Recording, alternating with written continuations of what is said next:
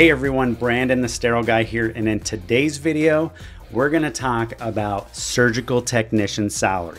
Not just that though, ways to increase your surgical technician salary. Before we get started, don't forget to like and subscribe to this video. It helps the algorithm, gets the videos out to more people, and yeah, helps me a little bit too. One thing that sets surgical technicians apart from the main reason of this channel is sterile processing techs is because of the nationally and statewide mandates for certification and for mandatory training. This job is highly visible. It works directly with patients, it works directly with nurses and doctors in surgical procedures. So it is a very important job, even though sterile processing is very important too. This job just has more visibility. So I did some research to find the national average for surgical technician salary within the United States. I looked at three popular places.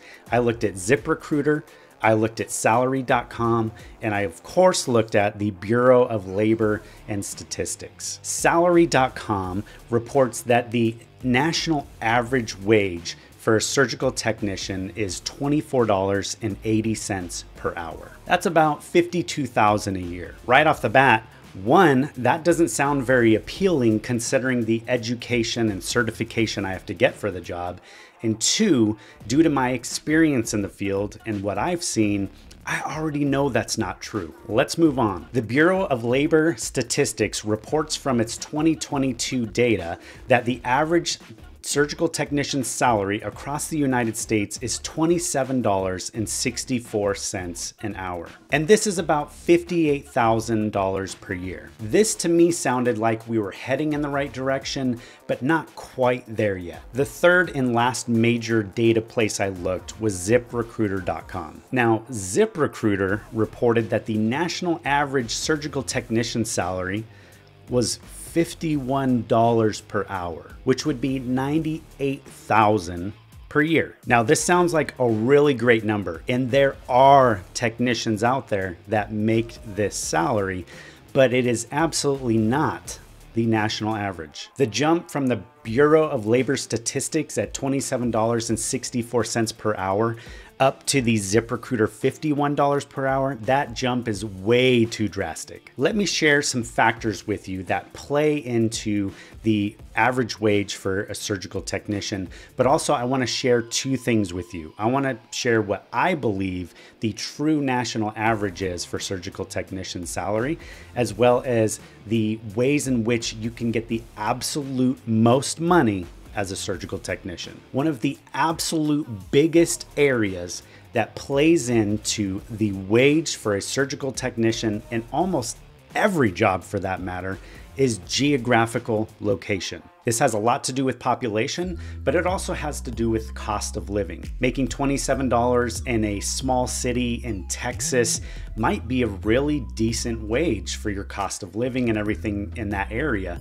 But take $27 an hour working in Los Angeles, that's not gonna cut it. That's not gonna allow you to save up money for a house, and it's probably not gonna allow you to take any sort of tangible great vacations. Cost of living absolutely matters. And if you're not taking that into account, then you're gonna have a problem. Now, with the other part of the geographical concept comes the notion of supply and demand. Some large cities have an abundance of people going through surgical technician schools, and there is an endless pool of people to hire from. So in this instance, the hospital or the surgical center you're applying to doesn't have to have a super high pay because they have the power in this scenario. So if you don't take the job, then you're out of luck. Someone's gonna take it. But now when supply is low, that is when techs have the advantage. It plays just like the housing market, supply and demand. For instance, here in Eugene, Oregon, there is not many schools around for surgical technology unless you travel up north towards Portland you're just not to find anything right close right here. Not to mention that the cost of living, because Oregon sits between expensive California and expensive Washington, we're growing too, so our cost of living is drastically going up. So the local hospital here, the two local hospitals are having to drive up the wages to make it more enticing to recruit people to either travel to come here or to um, make that trip if they live a little bit further away so that it's worth their effort so that they can staff that job. Here's an advertisement from one of the local surgery centers offering $35 as the minimum experience and up to $49 per hour. And then here's Peace Health offering $36 an hour at the low end with a range up to $50 an hour. That's pretty good. That shows you that supply and demand really matters. Not to mention, I know there's union contracts here too. You need to make sure you're on those. Okay, so I wanted to get some quick data from across the US just so I could be fair. So I checked listings like in Phoenix, Arizona, which came up about $35 an hour to $39 an hour. And then in Houston, Texas, um, there was a medical center offering ranges between $23.87 per hour to $32.82 per hour. My guess is that Houston has probably an overabundance of supply, which is probably why they can offer less. I'm not exactly sure of Houston's cost of living, so if you do, place a comment, let me know. In these two places that I mentioned, these are not data and statistics. These are actual job positions up for recruitment trying to hire people. So here are the two things that I promised you earlier. First, the national average takes into account everything, all the wages. This is from the least wage to the highest wage. This is from the least experience to the most experience. This is from the smallest cities to the absolute metropolitan large city areas.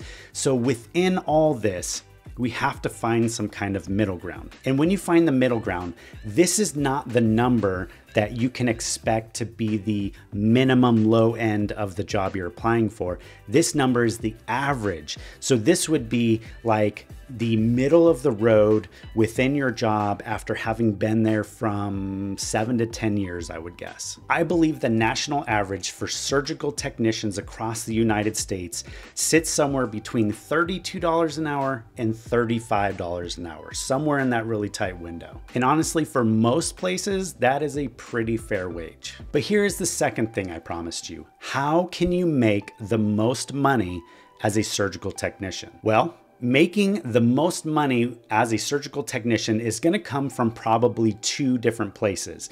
Either you are highly specialized, practicing with a probably sought after surgeon, and this could be something like a plastic surgery center, maybe like a renowned heart surgeon.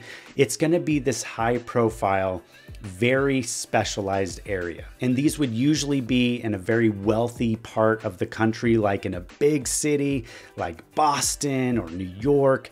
Those are gonna be, if you can get to those really advanced specialty physicians and work for them, then you can probably make a good amount of money. Or the other option is you can become a travel technician. And being a travel tech, if you just focus on only picking up the highest paying contracts, you could end up making quite a bit of money. Now, if you stack your contracts back to back with no vacation, you only take the biggest, highest paying contracts and you make sure you jump from one to one to one all year long, you can easily surpass $130,000 a year. It's possible, and many of my friends, surgical techs, have done this. But here's the catch there's always a catch.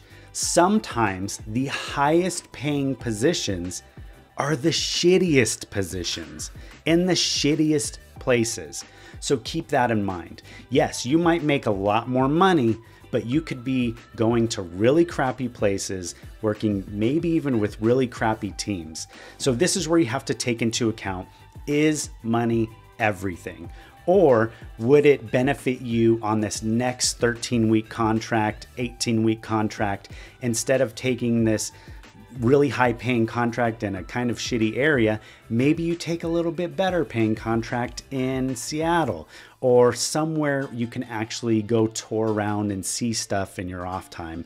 Maybe taking that little bit of cut will be just enough to bring your life satisfaction up as well. Now, the other thing First, travel teching is hard, especially if you have a family. That is a lot of time away from your family. Two, like I said earlier, in order to make the most money, you're going to probably be taking the least desired contracts that they can't even get technicians to hire on as a full time worker. And you have to face it, places like Hawaii are not going to be the highest paying contracts.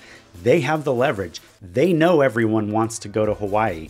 They're going to pay you a decent wage, but not a spectacular wage. But what I really hope to convey to you with all this is that this career is amazing and there's lots of excellent things you can do with it, but money is not everything. And the more time you spend chasing money, the more life you lose in the process. I hope this video helped you to understand a little bit more about the surgical technician wage across the United States and the complexity of factors that go into why the wages can be so drastically different state to state, city to city. Any topics or videos you want to see, don't hesitate to put them in the comments down below. Please, please, please like and subscribe. And as always, I'll catch you in the next video.